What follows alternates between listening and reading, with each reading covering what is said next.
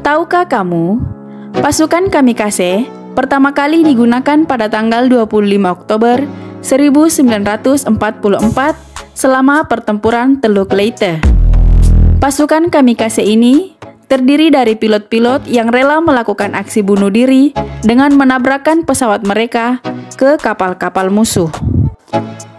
Kamikaze pertama diyakini dilakukan oleh Laksamana Madya Masafumi Arima, Komandan Armada Udara ke-26 pada 15 Oktober 1944.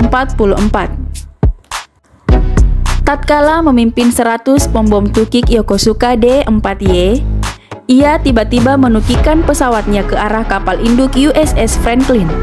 Kapal itu pun terbakar, namun masih tetap beroperasi hingga 1964.